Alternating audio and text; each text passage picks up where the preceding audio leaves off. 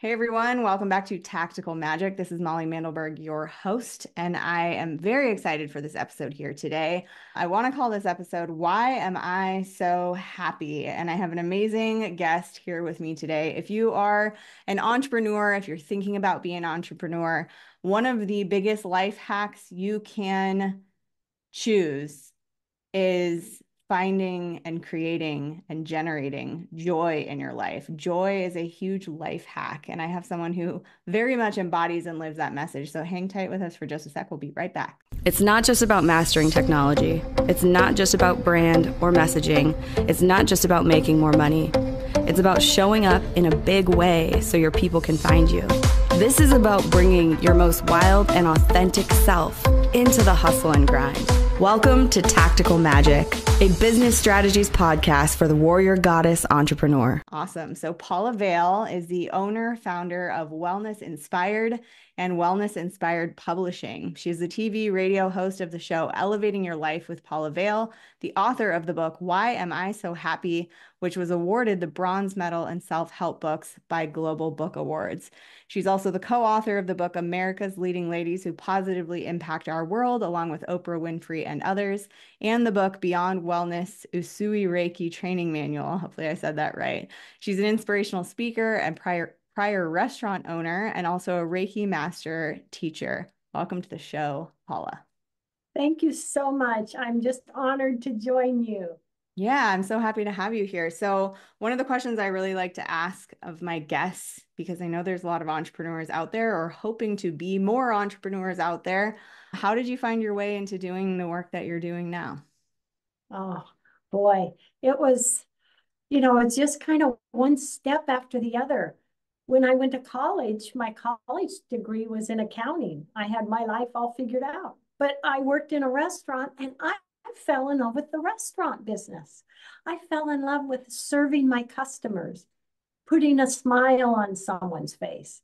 So I ended up managing a restaurant for years and then buying it and being a female entrepreneur, owner of a restaurant. So I was in the restaurant business 27 years. And then after I sold the restaurant, I learned Reiki. I've been doing Reiki 25 years and I learned it to help this precious dog behind me. I had had her her whole life. She was very sick, and someone said, You should learn Reiki. So I did, and it helped her so much. I had her two more years, and I fell in love with the modality of Reiki and just have loved doing that. And about nine years ago, I was approached by a radio organization asking if I would like to host a show. And I was like, oh, oh, thousands of people? Oh, I don't know. I don't know. Let me think about it. And then they contacted me again, said, Paula, we really want you to host a show. So that's how it began. And I've been doing interviews for nine years now. And my show is called Elevating Your Life. It's positivity, inspiration, information and it's on radio and television in California, KMET. And I just love it. But it's amazing how we can have our plan, the path we're going to go down, but yet we end up going down a different path. One way more mm-hmm. aligned and enlivening yes. and exciting. Yeah. yeah. Yeah, and I love that. Really a great thing. And I've always been passionate about helping small businesses, entrepreneurs, especially female entrepreneurs. We can do it. And it's just something I really love doing and, and supporting. Awesome. Yeah, I love that. I, I feel like one of the reasons I asked that question is because I want everyone out there who's listening to really get that it's not a linear path. There isn't often, most of the time, there isn't a business plan you create before starting to take action and explore a business that gets followed to a T and stays that way indefinitely. And what I love from your story that you shared is I went and I tried this industry, and the restaurant industry was beautiful and amazing, and I loved it. And I found the closing point where I moved on to something else. And that isn't a failure and that isn't a quitting it doesn't have to be a quitting experience when it's a aligned choice to move in a new direction. And I think that that is a really beautiful thing to sort of exemplify for people that you get to walk the path that you are most enthusiastically aligned with. And then that creates something greater in the future, more opportunities, more yes energy. And I know one of the life hacks or one of the power tools that you walk through the world with and that you write about is this idea of being joy and having happiness be sort of a guiding light. Would you tell us a little bit more about how happiness can be such a tool for creating our life? Yeah, it really can. And I love your point about how it can change in our direction. And when I decided to sell the restaurant, it was like, oh, it was a huge decision, but I, I lost my brother suddenly. I worked all these hours, all those years, and I said, okay, it's time to maybe go a different direction. And then look at what happens. And with my book, the reason I named it, Why Am I So Happy? I was always asked that by my customers. Your life must be perfect. Why are you so happy? My life was not perfect. I had many challenges, and I share some of those in my book. Being bullied in school. One year in junior high, I, I, I wouldn't even take my coat off. And that, and then other challenges, loved ones that passed. But my attitude was these challenges are making me more grateful for the good in my life. And when I lose someone, I, as angry as I am, I'm going to be grateful I had them in my life. And it really brought joy to me to share a smile. It always has. Share a kind word. You don't know what someone's going through, what their day is. And being in a crowded room with a smile on your face, it can change the energy in the room. I've always been fascinated by that. And so that's where I got the title of my book. I share different things, but I share the concept of every morning I think of one thing I'm grateful for. And I believe that sets the tone of the day. Mm. It really is what direction we put our thoughts, our words. And it's just been amazing. And since writing the book, it is, it was a couple months ago featured in Times Square. They pick a book for free every month. They pick like five books. Wow. And this month, it's being featured at a huge book festival in Toronto. Amazing. And next month, a huge book festival in Frankfurt. Wow. Something I discovered and I've always believed is on this hand, I'm going to have my goals, I'm going to have what I work hard for. And in this hand, it's going to be wide open to things that can manifest that I may not even have dreamed. So keeping that hand open, it can, as you say, we can have a direction we're going, but something else beautiful can open up. And that's amazing. It is just amazing, you know, when when you keep that door open and just yes to positive manifestations and whatever your challenges are, you know, we're not alone. We all have challenges and we can get those through those. We can support each other. And that's been a great thing for me is just loving being a positive energy. It doesn't mean I don't have down days. I do, yeah. human, but but you know that that's accessible to you. And i mm-hmm. think that that's one of the things i kind of get on my soapbox about a lot too is that joy and gratitude and changing the energy we walk through our lives with is our choice.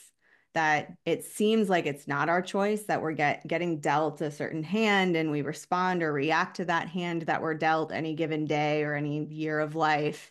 And that that just is what is but anything that arises in our life, like you said, losing a loved one or having things that are challenging show up, we still get to choose how we respond. And I think that being reminded of that when maybe we're in a pattern or we're, we're in a habit of feeling sort of depressed or destitute or like we're just being dealt a crappy hand in the moment, it's so valuable to be reminded that we are the generators of our joy and that we can do things like think of one thing we're grateful for in the morning or see who we can spread love and joy to today intentionally that we think, oh, let me contribute to this person who's sitting at the table in my restaurant, or let me contribute to this client who's showing up on the phone to talk to me, or let me contribute to the person in my household who I haven't really appreciated or acknowledged yet today, that we expend that joy or gratitude or appreciation, but it's actually growing it in us as well which I think that people don't really get that. Like people aren't nice to me or people don't love me or I don't get enough respect or acknowledgement or attention. It's like when you become the generator, the the one choosing to create more of that in the world, it fills that up in you as well. And that sort of turns the tide on your entire life. And I've struggled with serious chronic depression for most of my adolescence and young adulthood and that was honestly the thing that started changing it was me realizing i get to choose gratitude today i get to choose to find the tiny mundane detail to just be in awe of right now which yes. is oh yeah oh, it's yes. beautiful i know you that preach about happiness being a choice yeah wise words because it is it is a choice what direction we take our thoughts to and, you know, when we have those challenges, a lot of times they're out of our control. All we can do is look at them, realize what steps we can take, and move on. Really, that's all we can do. Every day is in the moment. And then we step forward. And that is just so true how we choose our attitude and we choose where our thoughts and our thoughts direct our emotions and really, it's actually very exciting that we can do that. We can make those choices. Yeah. That gives that power to us, doesn't it, Molly? Yeah, it, it, it is. It's our choice. And and I mean, in some ways it's like, damn it, it's up to me. And on the other hand, it's like, wow, it's it's up to me. I get to create more of that. I actually sort of re-got that epiphany a few days ago. I just came across a note in my phone that said, if you want to experience more love, love them more. If you want to experience gratitude, be grateful now. And I was like, oh, I guess I needed to hear that because I just came across that having written that. Do you have any other tips for ways that people can open up to more of that energy in their lives? I would say give yourself more of what makes you happy. You know, we can be so busy with putting out and doing that we don't give ourselves enough. It can be something as listening to your favorite music and dancing a little bit or making some muffins, working in the yard or being artistic or whatever you enjoy. Give yourself that. Take the time to love yourself and give yourself things that make you happy. And that's just going to raise your vibration and it's going to make an effect on what you are to others as well and how you vibrate and resonate. Yeah. Yeah, I'm, I absolutely agree with you. And I also want to make the distinction that giving yourself what you enjoy maybe don't include watching television or using social media as those things. See what else you can find. Yeah. Because yeah. while those can be really quick and easy dopamine hits, they often are in my experience, energetically pulling energy more than they're contributing energy to us.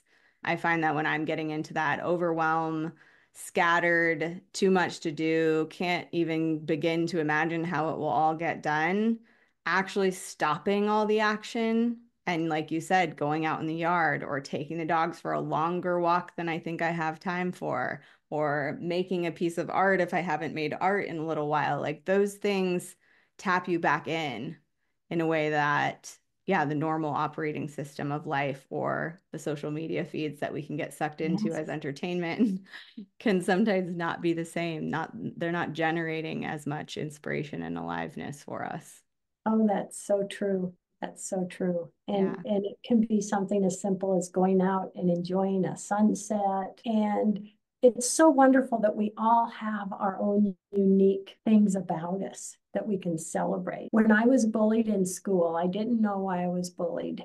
But one day I just said, you know what? Love me or don't. I'm just going to be me.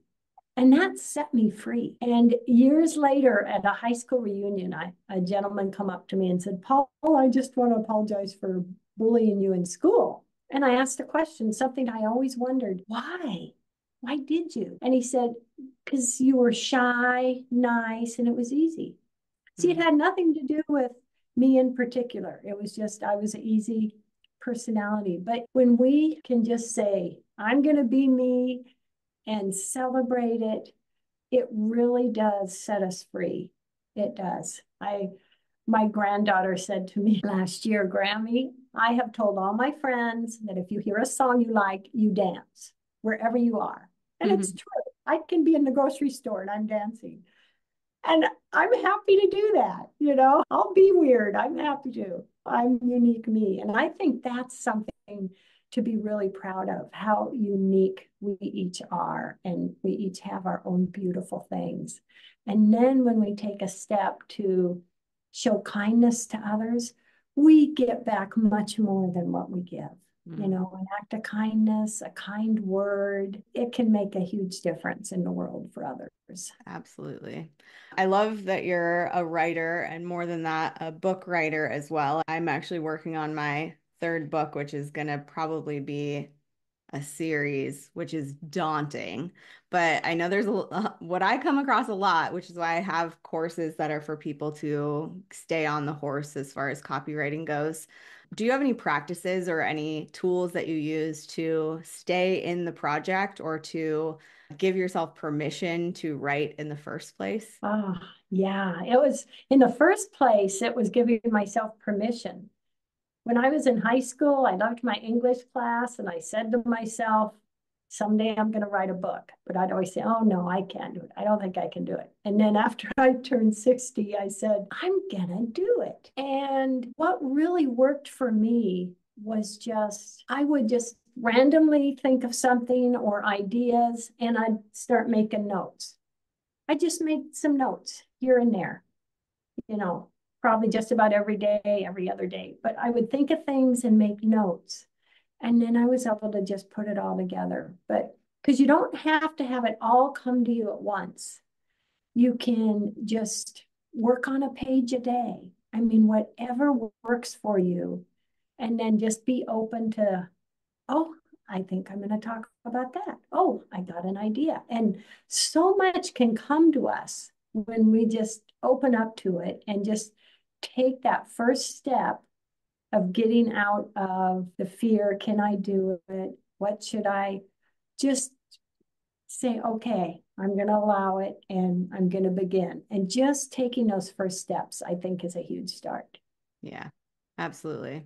Yeah, and and also knowing I think that the project is building itself in the background while you're actively not working on it that sometimes it's still writing itself. And then when you sit down to write, it can come out with a little bit more free flow. I think one of the things my mom is a writer as well, and she says that it doesn't matter if you never write anything in your life, but if you feel bad about not writing, you're a writer. That oh, people, I love that. People who aren't writers don't have any guilt at all about not writing. It's the people who feel like they should be writing that are eaten up by it. And in my opinion, if you feel bad for not writing, that means you're a writer. And if you're a writer, you may as well write something. Yes, yes, that voice is telling you. yeah. Yeah. Yeah. And there's a subconscious part of us, I think, that's always working on that next thing, or once, especially once you've decided that you're bringing a project to life, that you can trust it's being built in the background. And when you sit down to write it, it will come through but yeah, has that I imagine that gratitude practice has been a key part in you giving yourself that permission to write. Would you say that's true?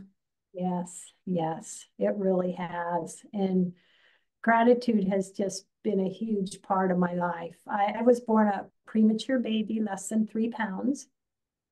My parents were told, do not expect her to survive the night. And I'm here. And so I've always felt I'm going to be grateful for my life and appreciate it and try and be a positive energy. But yeah, it's gratitude is huge in my opinion in what it does for us and what it brings to us. Because that energy of gratitude is also a tool of manifestation. Yeah. Will you say more about that? How is gratitude related to manifestation? Oh, just gratitude and saying, literally saying yes to positive manifestation in your life.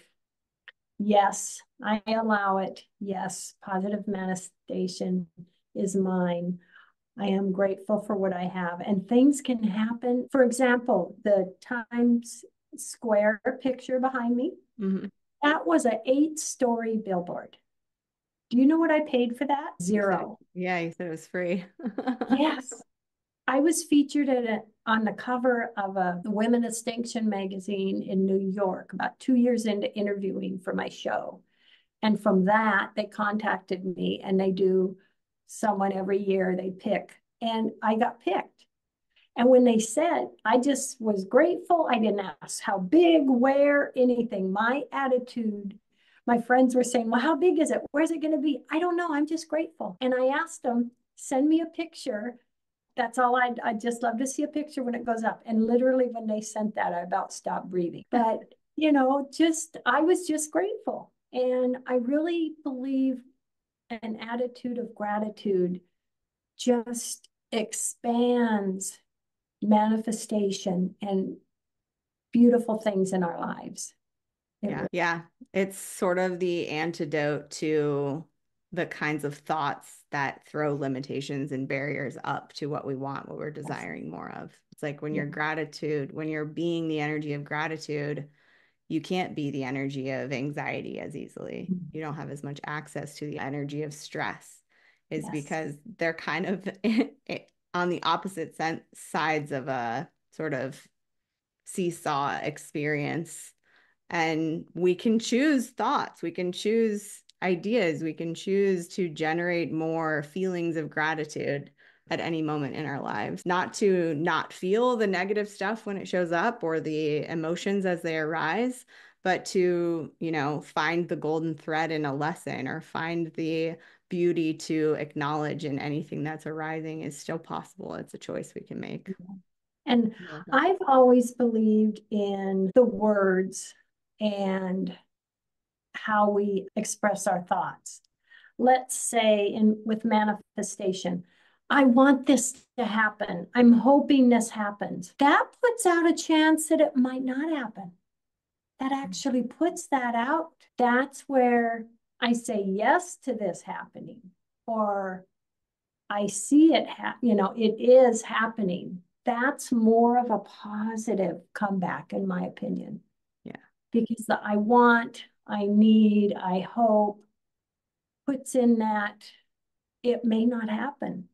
Yeah. And really our thoughts and words, what we put out is what we what we get back.